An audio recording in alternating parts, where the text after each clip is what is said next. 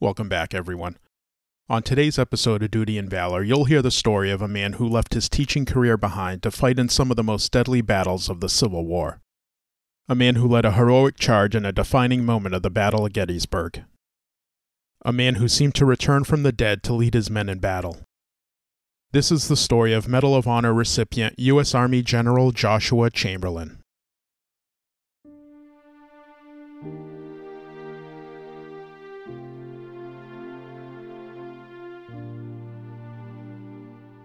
Lawrence Joshua Chamberlain, who would go by Joshua, was born on September 8, 1828. He was the oldest of five children born to parents Sarah and Joshua Sr. of Brewer, Maine. The influence of his father, who wanted Joshua to be a military man, and his mother, who wanted him to become a minister, would shape the man who would become one of the more prominent Union Civil War officers. He attended a military school before teaching himself Greek so he could attend Bowdoin College. While at Bowdoin, he taught Sunday school and became his church's choir director. After graduating, he then entered the Bangor Theological Seminary, and there he learned Latin, German, French, Arabic, Hebrew, and Syriac. In December 1855, he met and then married Frances Fanny Adams, and the two would go on to have two surviving children daughter Grace and son Harold. Soon after, he returned to Bowdoin to teach, and he was still there when the Civil War started.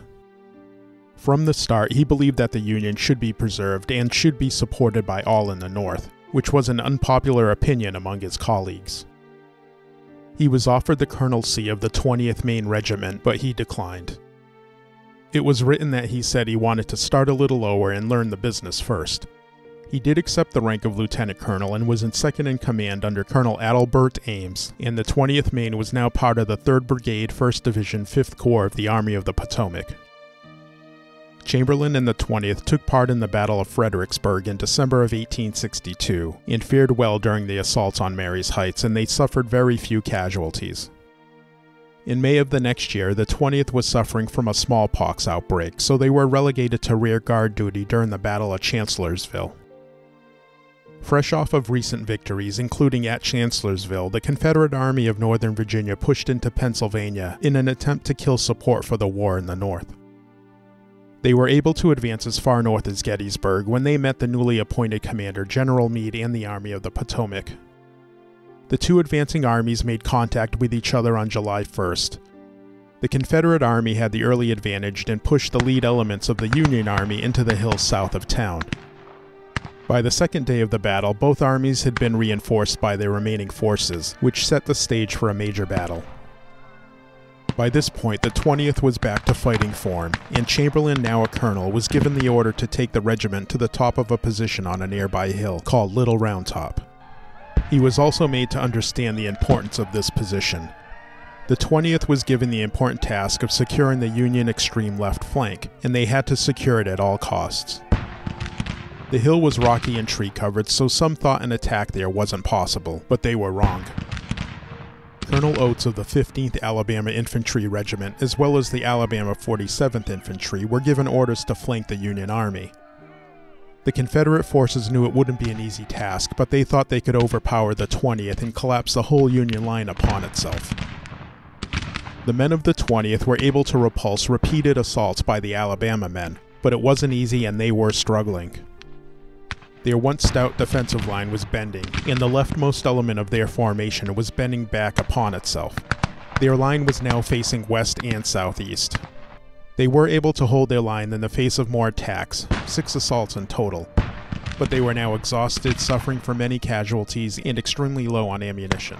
So low that some of the men had no ammo at all.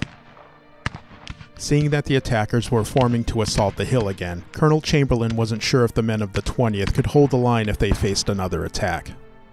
He then yelled the one word that would communicate to his men what needed to be done bayonets.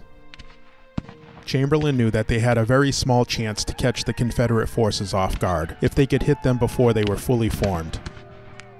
He ordered the left of his line to advance first and to move to reform a straight line. This movement, followed by the direct advance from the remainder of his line, gave their attack a hinge-like action, which gave them the advantage of a frontal and flanking attack. With his saber drawn, Colonel Chamberlain led his men directly at the shocked men at the bottom of the hill. When they made contact and were fighting in close quarters, a Confederate officer took aim at Chamberlain with his revolver and just missed hitting him in the face. Before he could get a second shot off, Chamberlain raised his sword to the man's neck and asked for his surrender. The officer did surrender and gave Colonel Chamberlain his revolver. The men of the 20th were able to capture hundreds of Confederate soldiers and forced the remaining men to retreat. The left flank was then reinforced by General Weed's men, thus ensuring no other Confederate attack would be attempted. During this battle, Colonel Chamberlain only suffered a minor injury when his sword scabbard was hit by an enemy round, bruising his thigh. It was also reported that Chamberlain was still recovering from malaria and dysentery during the battle. For his actions that day, he was given the nickname the Lion of Round Top, and was finally awarded the Medal of Honor 30 years later. Colonel Chamberlain recovered from his illness and returned to the Army in April 1864, and he was given command of the brigade. On June 18th, he was leading his men at the Second Battle of Petersburg when he was shot in the right hip. The bullet traveled through his body, hit his groin, and then exited his left hip. Knowing what it would do to morale if his men saw him fall, he drew his saber and stuck it into the ground and used it to prop himself up as he continued to give commands. But he was losing a lot of blood, and after a few minutes, he fell to the ground unconscious.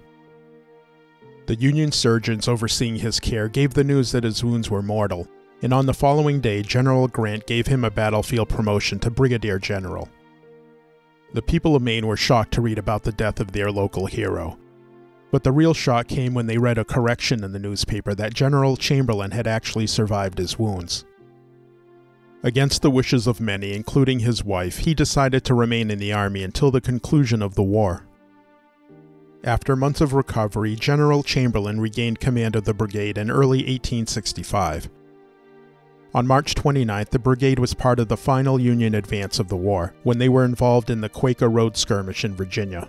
He was shot in his chest and left arm, which was almost amputated, and he was nearly captured. Later on, he was once again shot. A Confederate soldier had hit him in the left chest, but luckily it struck the metal framed picture of his wife that he kept in his pocket. Although it appeared to all that his chest took a direct hit, the bullet actually penetrated his skin and followed his rib cage before exiting his back. He was able to stay in the fight and lead his men on. On the morning of April 9th, General Chamberlain was approached by General Gordon of the Confederate Army, who was waving a white flag. He stated that General Lee was asking for a ceasefire while terms of surrender were discussed.